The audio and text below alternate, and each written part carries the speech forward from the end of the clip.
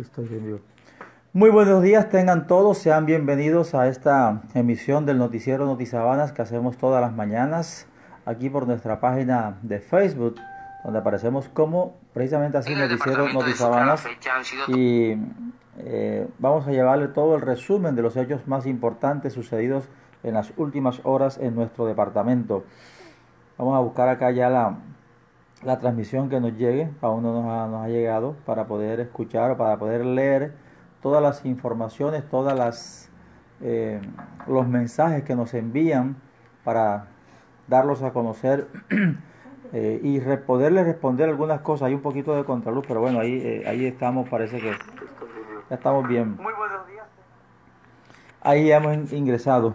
Vamos a darle las gracias primero a Dios por este eh, nuevo día que nos da, por estar bien de salud, por protegernos, por guiarnos, por este aire que respiramos, por esta luz del sol. Hoy el sol ha salido con todo sobre Cincelejo, con toda su fuerza. Así que le damos gracias a Dios por eso.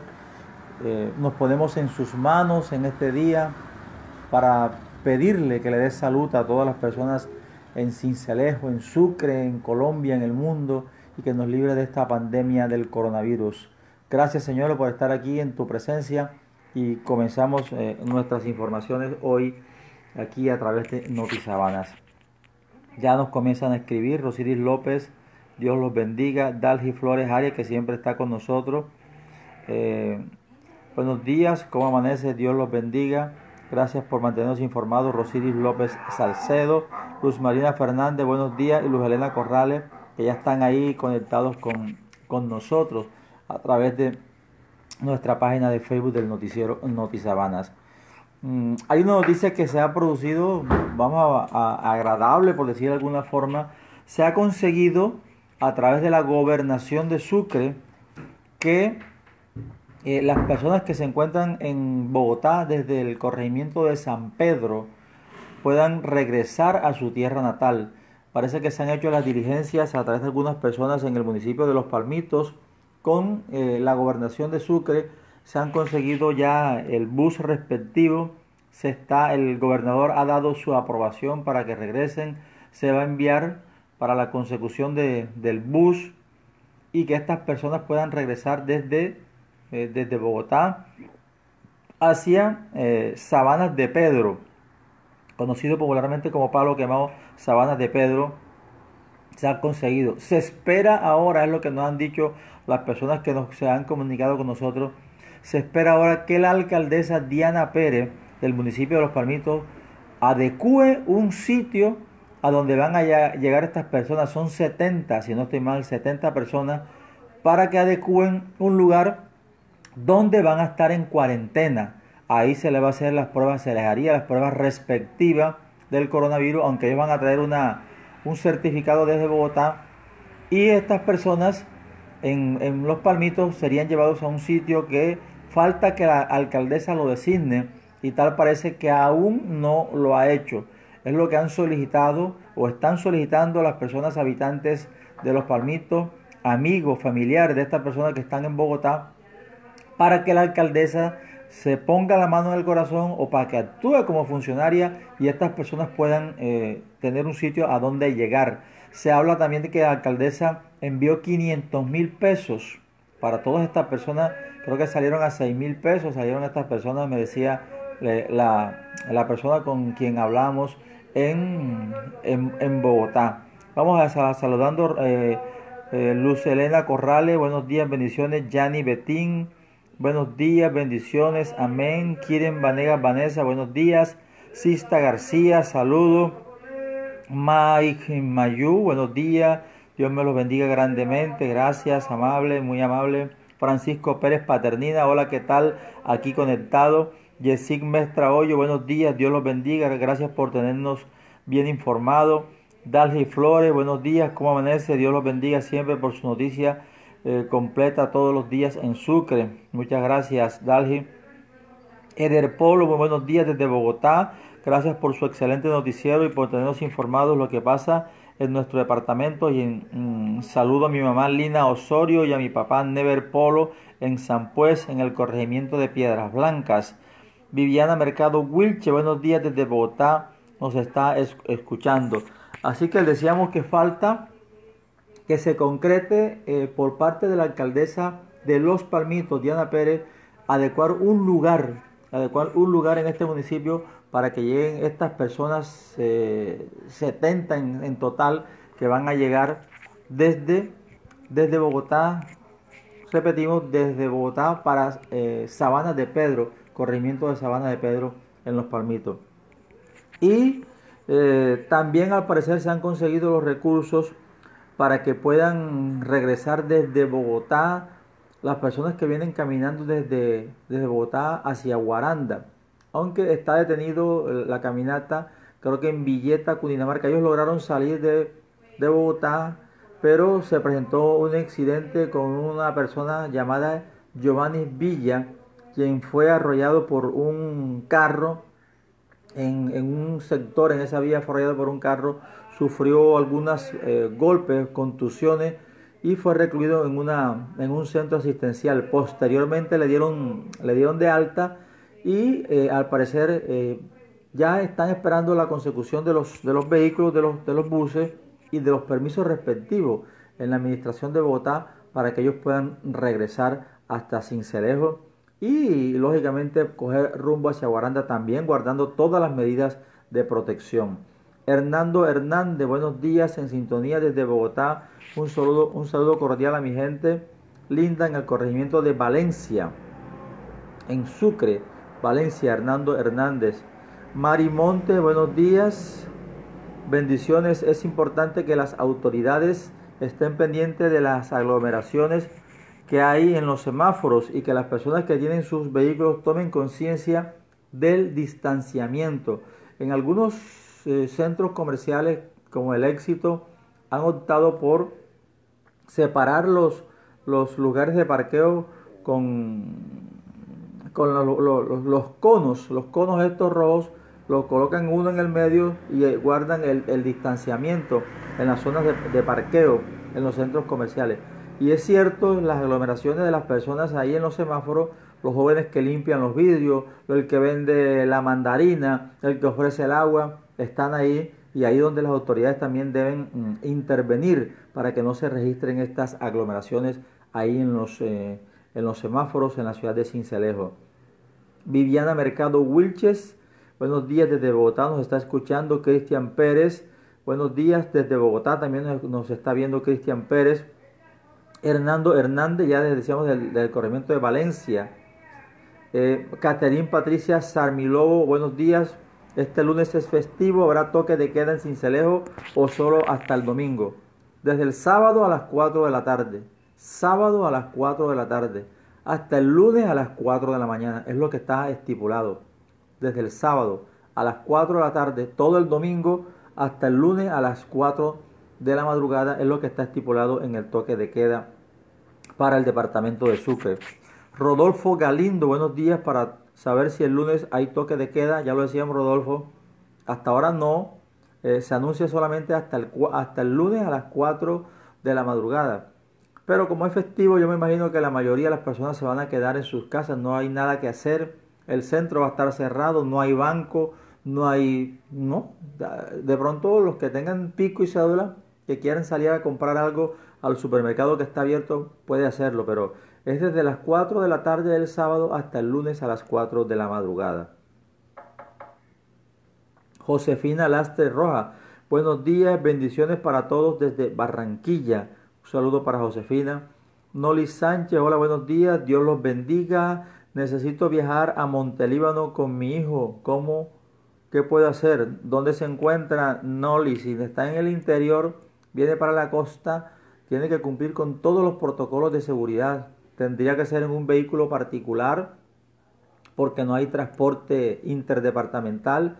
Si se viene en un transporte de estos comunitarios que han alquilado, que han contratado, pero tiene que tener el respectivo permiso, tanto de la administración de donde va a salir como de la administración hasta donde va a llegar y guardar la cuarentena, guardar la cuarentena en un lugar Así que Noli Sánchez, esta es la información que le podemos dar. Ana María López Sierra, buenos días. Mateo, Mateus Matthew Gil Tarra. Dios quiera que si todos los que todo les salga muy bien. Por acá se sufre mucho. Me imagino que está en Bogotá, Mateo. Mari Gómez, buenos días, bendiciones a Mari. Inelda Torres, buenos días, Dios los bendiga. Mateo Gil, nuevamente con la ayuda de Dios todo va a salir muy bien y Dios sabe hasta cuándo va esto. Así es. Eh, Ever Amel, buenos días desde Buenavista. Buen noticiero. A propósito de Buenavista, ayer pasábamos un video en nuestro noticiero en la emisión de las 6 y 30 de la tarde y hoy está colgado ahí, está en nuestra página de Facebook de Noticiero Notizabana, donde en Buenavista no están guardando los protocolos de seguridad, no cumplen con el aislamiento preventivo, no hay cuarentena, se van hasta una cancha de fútbol que hay ahí en el municipio a jugar hay como 30 personas jugando y para remate contratan a una persona o la contratan o la persona lo hace porque quiere un locutor que transmite los partidos. Válgame Dios, transmitiendo los partidos que están ahí, todo el mundo jugando, los que están alrededor, ninguno tiene tapaboca, no hay ningún control, no, no la autoridad no está por ninguna parte. Ojo con esto, señores de Buenavista. Ya ahí en Magangué hay, hay un caso que están ahí cerquita de ustedes. Entonces hay que guardar la compostura. Hay que guardar la compostura a los señores del municipio de Buenavista, por favor. Compostura. Hay que quedarse en la casa. Guardar los protocolos de seguridad. Si va a salir, guarde su, compostura con su tapaboca, la distancia respectiva. Lávese las manos. Utilice el alcohol para, para el gel antibacterial. En fin, todas las cosas que hay que guardar. Pero no, contratan a una persona o a una persona narrando los partidos de fútbol ahí en, en, el municipio de Los Palmitos, de, ¿cómo de Buenavista y jugando fútbol como 40 personas. Mm, Yesenia Durán Castro, buenos días, necesito, necesitamos salir de acá de Pereira. Vamos para la costa, para Monpós. ¿Cómo nos pueden ayudar? Monpós, desde Pereira. Ahí quien tiene que ayudarlos son las administraciones locales, eh, Yesenia, mirar a ver cómo hacen, cómo se pueden venir. O sea, el, transporte está restringido, no hay, decíamos que no hay transporte interdepartamental, tendría que ser en un vehículo particular o que venga una cantidad de personas que previamente hagan una concertación entre las administraciones locales allá de Pereira con, eh, con y que ustedes se puedan venir guardando con todos los protocolos, los certificados de exámenes del COVID y guardar la cuarentena acá. Es la única forma. Del resto no, no encuentro la verdad cómo se puede venir, Yesenia. May, Mayu, ¿qué más dice acá? Quedémonos en casa, cada día está más cerca como positivo en Morroa, por favor, si no hay nada que hacer en la calle, no salga, quedémonos en casa.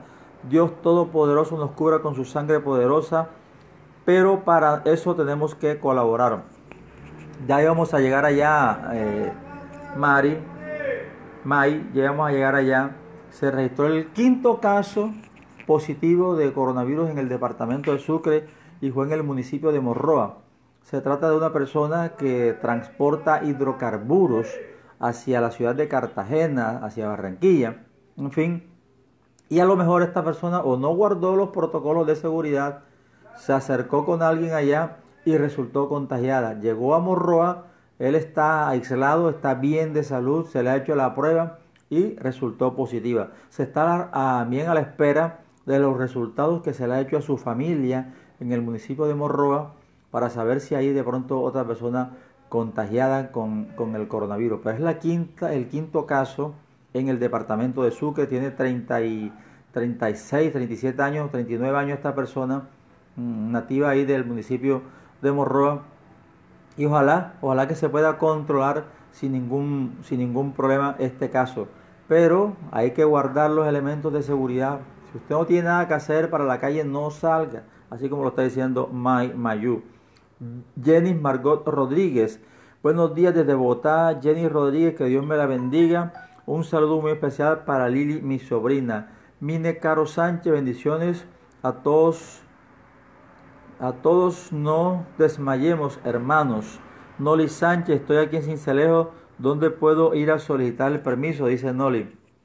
Tiene que ir a la alcaldía de Cincelejo para solicitar este, este permiso a la alcaldía de Cincelejo y que usted pueda viajar. Ahí le, le, darán el certificado, vaya a la, a la alcaldía de Cincelejo, averigüe y ahí le pueden dar un certificado para que usted pueda viajar. Eh, Sista García, disculpe, soy de Cincelejo, vivo en Bogotá, pero tengo la familia allá, deseo saber si hay COVID. Soy de Cincelejo, vivo en Bogotá, en, en Cincelejo no hay, en Cincelejo no hay ningún caso, afortunadamente no hay ningún caso hasta el momento. Sin embargo, vamos a escuchar una información. Eh, aquí tenemos, se nos van a de pronto que se nos pasen algunos, algunas personas que nos están escribiendo. Queríamos meter la información donde habla el, el personero de Cincelejo Jesús Valverde, donde está preocupado porque no se han entregado los resultados de eh, una 690, y no doy mal, 690 pruebas de coronavirus que están pendientes por entregar en el departamento que no se han entregado. Entonces él ha lanzado la voz de alerta que, ¿qué pasa? No se conocen los resultados y está, haciendo un llamado a, a los entes de salud para que entreguen estos resultados. Ojalá que no se nos pasen estas, estas, estos mensajes. Vamos a buscar la, entrevista que hacíamos con, eh, con el, el pronunciamiento que hizo el personero Jesús Valverde sobre el tema este que está preocupado porque no hay hasta el momento un resultado de las pruebas que se han hecho 300, decíamos que decíamos que 600 600 ¿qué? 690 pruebas. Entonces no han llegado los resultados hasta el momento. Vamos a esperar, vamos a buscar acá la, a ver si, si tenemos aquí la información y vamos a para que las personas la escuchen. En el departamento de Sucre a la fecha han sido tomadas 1.704 muestras para COVID-19, de las cuales 431 están pendientes por resultados y 372 por enviar. De la cifra general, 897 han resultado negativas, 3 positivas y un caso recuperado. De acuerdo al boletín que emitió la Secretaría de Salud Departamental, ante las estadísticas, el personero municipal de Cincelejo Jesús Valverde expresó su profunda preocupación por el número de casos sospechosos de COVID-19 en Sucre, teniendo en cuenta las muestras pendientes, ya sean tomadas por tamizaje o sea por considerarse sospechosos de tener el virus que están a la espera de un resultado. A su vez resaltó que el sistema de salud de la costa caribe no está preparado para una proliferación masiva de pacientes que se agraven por COVID-19. El último boletín de coronavirus publicado por el Departamento de Sucre anuncia 453 pruebas pendientes por resultado, 237 pendientes de ser enviadas. Es decir, 690 personas a las que se les practicó la prueba de COVID-19, sea por tamizaje o por encontrarse sospechosos, que están a la espera de un resultado. El llamado respetuoso a las entidades que practican estas pruebas es a que mejoren los tiempos de procesamiento y resultado. Recordemos que el sistema de salud de la costa atlántica no se encuentra preparado para una proliferación de pacientes que se agraven por COVID-19 y Sucre no es la excepción. Por esta razón, también a los cincelejanos decirles, disciplina, cuidémonos, mantengamos las normas de distanciamiento social, utilicemos los elementos de protección. Esto es una batalla que la ganaremos todos como sociedad y no es solamente una responsabilidad de nuestros mandatarios. El personero también llamó la atención sobre los 3.402 comparendos que han impuesto las autoridades en Cincelejo ante el cumplimiento de los ciudadanos a las normas expedidas durante la cuarentena. Bueno, esa es la información. Decíamos del señor. No se conocen los resultados y está, está haciendo un llamado a los resultados. Los resultados de las pruebas del coronavirus. Aquí nos pregunta eh, eh, bueno, el de Alberto Ursola Durán, señor Francisco, después de la prueba le dan un certificado a uno, sí señor, le dan una carta donde usted sale con la prueba que sea negativa, le traen una carta y usted eh, puede salir. Aquí nos pregunta Noreldis Silgado Bertel, buenos días, ¿qué tan cierto es que el alcalde de aquí ha sido suspendido? La información es la siguiente, la que se ha recibido desde, desde la ciudad de Bogotá a través de una periodista Darcy Quinn de Caracol Radio, ha colocado en su cuenta de Twitter que se vendrían suspensiones y embargos de cuenta de los alcaldes de Cincelejo, de Malambo en el departamento del Atlántico y de Coveñas también en el departamento de Sucre. Se vendrían suspensiones por parte de la Contraloría General de la República. Hasta el momento no hay ninguna sanción, no hay ninguna suspensión. Es la información que ha entregado esta periodista Darcy Quinn a través de, eh, los secretos de Darcy Quinn, si no estoy mal, porque tiene algunos contactos que le han dicho, se vendrían. No hay nada todavía eh, concreto al respecto y se está esperando a ver cuáles serían los resultados con relación al alcalde. Y también se habla de que estarían embargando las cuentas. No sabemos si son las cuentas del alcalde o si son las cuentas del municipio. Es lo que, lo que, la información que tenemos, pero que hasta el momento no se ha producido ninguna suspensión del señor alcalde de Cincelejo. Esa es la respuesta para Noreldis. Luis Martínez Pacho desde San Pues en sintonía. Un saludo para Luis Martínez. Eh, eh, Roquelina Hernández, igual acá en mi corregimiento de la arena. De la arena. Todo está libre. Entra el que quiera y que todo, las, todo por todas partes, carros de todos lados. Lo único que quisiera son las que cierran son los, los de las tiendas.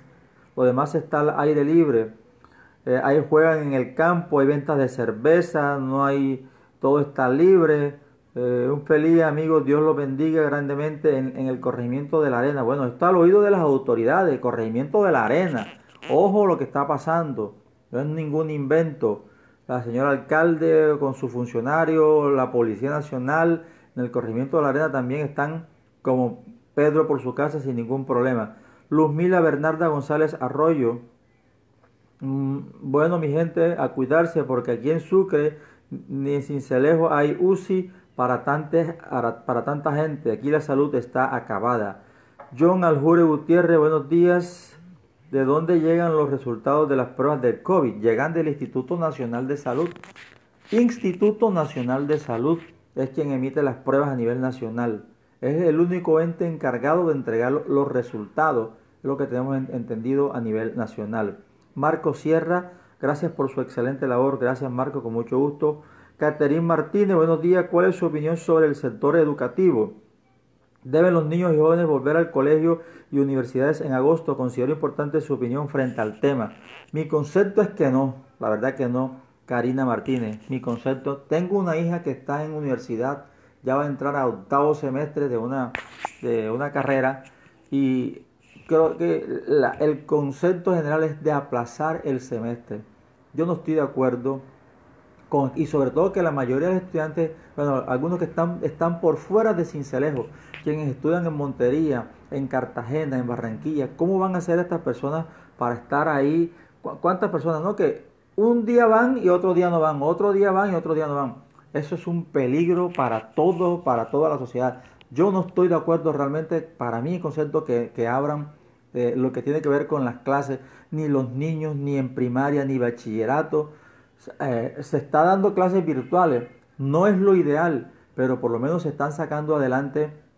Y aquí el gobierno tiene que ponerse la mano y mirar cómo llega a, todas estas, a todos estos sectores, primero con internet gratis que tiene que darle, y segundo brindarle todas las herramientas de computadores, de tablets, no sé, para que los niños puedan ingresar. Y no estoy de acuerdo también de que abran las universidades. Eso es un peligro total. Y menos los laboratorios. Los laboratorios donde está la, la contaminación. Y por más que se guarden todos los elementos de bioseguridad, alguna persona va a salir contagiada. Mira, usted se vacuna contra una enfermedad y puede resultar contagiado de esa enfermedad. ¿Por qué? Porque de pronto la vacuna falló y está vacunado contra cualquier, contra la influenza, contra eh, la varicela, contra cualquier otra, y resulta contagiado. ¿Y quién tiene la culpa de eso? Pero todas las cosas hay que preverlas. Mi concepto es que no deben abrirse los colegios ni las universidades. Ahí respondemos a, a, Roquelina. Luzmila Bernarda González, eh, la salud está acabada. John Gutiérrez, Marco Sierra, Karina Martínez. Le hemos respondido a Karina, Sista García. Gracias, los, los bendiga de la mano de Dios. Glexi Domínguez, buenos días, bendiciones. Delcy Velázquez, bendiciones. Irina Rosa Paternina Puente, buenos días, bendiciones. Desde Corozal, sintonía total. Muchas gracias por, su información veraz y oportuna. Marco Sierra, por la vía que conduce al Cruz del Beque, entrada por el pescador, no hay ningún control, constantemente transitan vehículos. Marco, gracias y nos han, nos han informado también del el puesto que está ahí en la Sierra Flor, que hay momentos en que no hay nadie en este sitio ubicado y que los carros entran y salen como Pedro por su casa, inclusive es una vía que viene desde Cartagena, que viene desde el sector del Golfo de Morrosquillo, pero preocupante que vengan de Cartagena. Claro que tienen que atravesar primero por San Onofre, pero esto al, oído de las autoridades, el mayor, eh, el mayor Flores, Julián Flores, que es una persona activa que siempre está pendiente, ahí vamos a comunicarle esta, que es el comandante de policía de carretera que tiene a su cargo a estas personas que están cuidando los puestos de control. Isabel Puentes, soy Isabel Puentes de Corozal. Qué triste que los cinco casos que hay aquí, que hay aquí en Sucre, son personas que han venido de afuera, así es, y el gobernador y el alcalde no hacen nada, solo se van a decir mentiras. Ojo, señor gobernador y alcalde, por favor, a cerrar las vías para que no entren personas de otras partes. Muchas bendiciones. Es cierto, los dos que están en Cincé llegaron de Bogotá. Eh, la persona de, que se contagió en Los Palmitos estuvo en Barranquilla. La de Cincelejo vino de Cartagena. Y ahora este señor de Morroa también que vino de Cartagena. hay que, no, que no se pueden cerrar porque está prohibido por la ley que se cierren las ciudades. Pero sí se pueden hacer los controles de sanidad. Ahí es donde hay que amarrar fuerte para los controles de sanidad que se hacen en estos puestos y no descuidarlo, no, no dejarlo solo. Lo están diciendo por el sector de Cruz del Beque que no hay personas que estén ahí pendientes de esta situación. En la Sierra Flor que no están pendientes. Eh, ahí es donde está la clave. Hacer los controles de sanidad en estos lugares, en estos sitios de entrada a, la, a las ciudades, a los municipios. Y la persona que venga en cuarentena, hacer la prueba y llevarlo a un sitio que designe el gobierno municipal y ahí mantenerlos ahí hasta tanto ya se tenga certeza de que esa persona no está contagiada con el virus. Enrique Oviedo desde, desde la ciudad de Panamá, siempre está ahí Enrique pendiente, un saludo para su familia, gracias Enrique por estar siempre con nosotros. John uh, Hanner Velázquez Pérez, buenos días, si los cincelejanos acataran las órdenes y cumplieran con la cuarentena, no estuviéramos preocupados, pero uno sale el día de pico y cédula y se ve mucha gente como si no pasara nada, debemos cuidarnos, así es. Hay gente que no le presta atención a eso y salen sin ninguna, inclusive sin ninguna protección, están ahí cerca, sin nada, y no pasa absolutamente nada. Eh, hay que tener mucho cuidado, ojo, mucho cuidado con esta situación en la ciudad de Cincelejo. Yarina eh, Suárez Ángel, estoy de acuerdo con usted, gracias Yarina.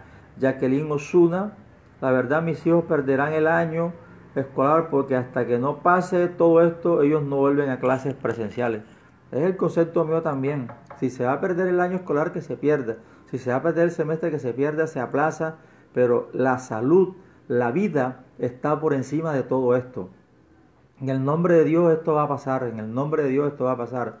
Y la vida es lo principal. Después se regresará a clases, después se regresará a estudiar y con, todo, eh, con toda la seguridad de que no va a haber una persona contagiada.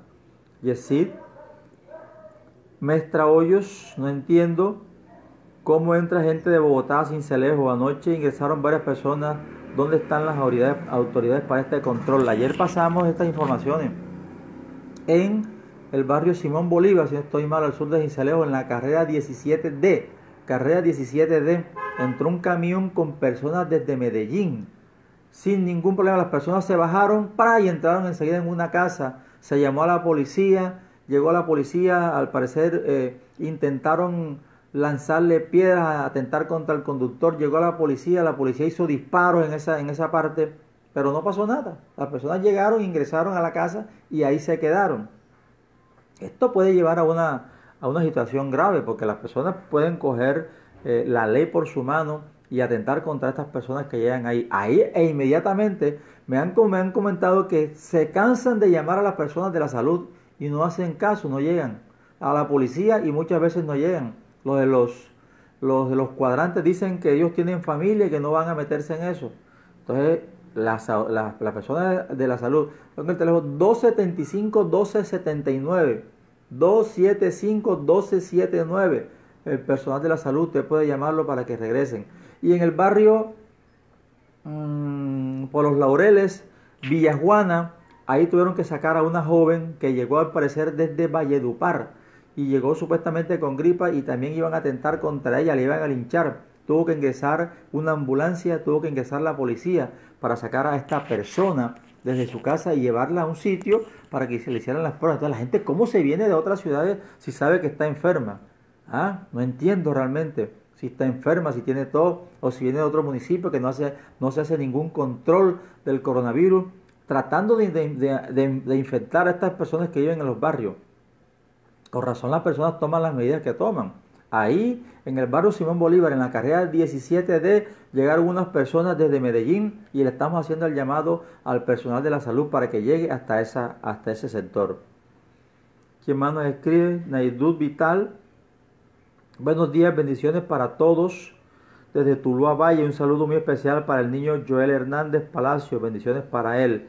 Mayu, nos escribe nuevamente May. Francisco, yo pienso que si abren las clases si todos nos unimos y, y, no mandamos a los niños y nadie va a clase, creo que es responsabilidad de nosotros y, decisión de nosotros. Ahora, pregunta, ¿nos multarán por esta decisión? No creo, no, May, no. Pero te repito, primero está la salud, primero está la vida por encima de todo. Y aquí tiene que entrar la, la FECODE, la Federación Colombiana de Educadores, debe intervenir. En Sucre, la Asociación de Educadores de Sucre ADE deben intervenir aunque la ministra lo haya dicho y el señor presidente, que llevan un tiempo a clase y un día y otro día no van. Ojo con eso, ojo con eso. La pandemia está en su punto alto. Ahí está, los contagios están en su punto alto. Cada día en Colombia aumentan los casos. Aquí no hay ningún control todavía, aquí no hay nada controlado. Aquí está en su punto alto y ojo con esto que, que la verdad que no vaya a ser un desastre para Colombia esta situación. Mm, Isabel Puente, soy bueno, ya, nos decíamos Isabel de Corozal, Carmen Padilla, buenos días, que Dios los bendiga. A ver si, alguien se nos, ha, se nos ha pasado. Isabel Puente, Carmen Padilla, José Cobo deben tener un lugar de alojamiento para todas las personas que vengan desde afuera y con sus respectivas pruebas de resultado. Carmen Padilla, totalmente de acuerdo, yo no mandaría a los míos, prefiero que pierdan un año y no que se me enfermen. Primero la salud un año pasa volando, que si pasa volando, uff, esto, el, tiempo pasa volando y uno no se da cuenta cuando pasa. Vamos a llamar a un periodista Noti Sabanas que se encuentra en otro lugar de, en otro lugar de Cincelejo para que nos dé una información. Mira, ayer se presentaron unos casos heridos, peleas con arma blanca tipo machete porque una persona espantó una gallina. Oiga, por favor, ¿esto qué es? Porque espantó una gallina para que no se la robaran, entonces se presentaron a herirlo con machete. ¿Mm? No, no hay, no hay derecho para que estas para que estas cosas estén pasando realmente en nuestras ciudades, en nuestro departamento, en los barrios. No, heridos con macheta, otros los lo hirieron en, otro sector. Fabín Díaz, muy buenos días.